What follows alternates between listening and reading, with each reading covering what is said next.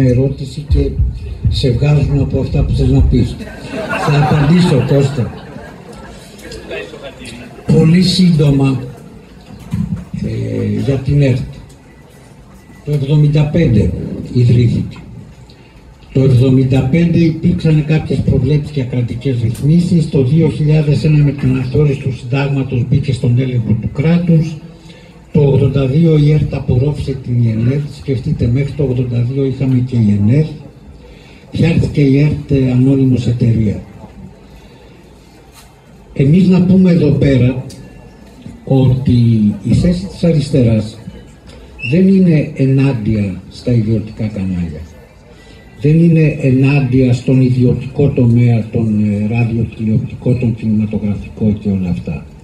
Η θέση της αριστεράς, όπως και σε όλα τα πράγματα, είναι υπέρ του δημόσιου τομέα και στην ενημέρωση και στον πολιτισμό και σε όλα τα υπόλοιπα που θα τα βρούμε στην πορεία. Επομένως η δική μας αντίθεση βρισκόταν στο ότι εμείς θέλαμε την ΕΡΤ. Η ΕΡΤ είναι ένας γίγαντας. Είχε τρία αναλογικά κανάλια, έξι ραδιόφωνα στα FM, 19, περιφερεια... 19 περιφερειακούς σταθμούς, τρία κανάλια επίγειας ψηφιακής τηλεόρασης από το 2006, δορυφορικό πρόγραμμα, σύγχρονα μηχανήματα εξειδικευμένο προσωπικό, ράδιο τηλεόραση, το περιοδικό, μουσικά σύνολα, Εθνική Συμφωνική Ορχήστρα, Ορχήστρα Σύγχρονης Μουσικής, Χοροδία της ΕΡΤ, οι οποίες γυρνούσαν και σε όλη την επικράτεια και δίνανε συναυλίες στα σχολεία και όλα αυτά. Στις 11 Ιουνίου η ΕΡΤ κλείνει. Ε, θα θυμόσαστε, ήταν η κυβέρνηση Σαμαρά, ο Σίμος ο Κεδίκο βγήκε ξεμέθιστος και ανακοίνωσε ότι θα κλείσει η ΕΡΤ γιατί ήταν πολύ σοβαρό αυτό το ζήτημα. Απολύθηκαν 2.565 εργαζόμενοι. Ε, υπήρξε μια φοβερή κινητοποίηση του κόσμου. Προσέξτε την αντίφαση, δεν ήμασταν ευχαριστημένοι από την ΕΡΤ. Την κατηγορούσαμε την ΕΡΤ όλοι. Αλλά το κλείσιμο της ΕΡΤ δεν μπόρεσε να περάσει μέσα στην κοινωνία και κινητοποιήθηκαν όλοι. Κινητοποιήθηκαν τα συνδικάτα, κινητοποιήθηκαν τα σωματεία, κινητοποιήθηκαν οι δήμοι. Ο ίδιος ο κόσμος κινητοποιήθηκε.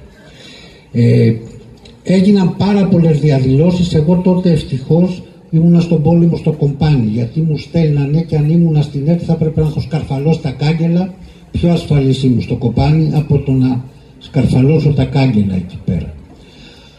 Ήταν όμως μια τεράστια λαϊκή κινητοποίηση για να μην κλείσει η ΕΡΤ. Μετά αυτό προκάλεσε και κλειδονισμούς. Ήταν η αιτία και αυτό είναι τιμητικό για τη Δημάρ να φύγει η Δημάρ από την κυβέρνηση ε, και να αρχίσει μια άλλη πορεία η οποία αργότερα μας έφερε πολύ κοντά και είμαστε ε, σε μια πολύ θετική κατεύθυνση για αυτό το πράγμα.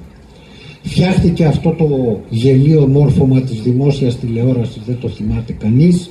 Μετά φτιάχτηκε η Νέριτ, όπου παρετήθηκαν πολύ γρήγορα τα μέλη του Διοικητικού Συμβουλίου για κυβερνητικές παρεμβάσεις και ήδη από το Φλεβάριο του 2015 και ο Τσίπρας και ο Παπάς δεσμεύτηκαν στις προγραμματικές δηλώσεις για το άνοιγμα της ΕΡΤ και για ρύθμιση και κανόνες στο τηλεοπτικό πεδίο. Προσέξτε, όχι μόνο για το άνοιγμα της ΕΡΤ, αλλά και για ρύθμιση και κανόνες, που αυτό είναι το δεύτερο που πόναγε τότε. Είχαμε, η ΕΡΤ άνοιξε, άνοιξε τον Απρίλιο του 2015, κατατέθηκε το νομοσχέδιο για την ΕΡΤ, στις 11 Ιουνίου του 2015 άρχισε να λειτουργεί. Άρχισε να λειτουργεί συνολικά προσελήφθησαν πάλι όλοι οι εργαζόμενοι σε όλο το εύρος της λειτουργήσε, όλος αυτός ο γίγαντας που είχαμε πει. Και συγχρόνως άρχισε να διευρύνεται, να διευρύνεται η κάλυψή του σε όλη τη γεωγραφική επικράτεια που δεν υπήρχε. Να αναπτύσσονται νέες τεχνολογίες, η Airflix, τα Sport, αυτά τα υβριδικά που δεν είμαι ο κατάλληλος να σας πω για αυτά. Παράλληλα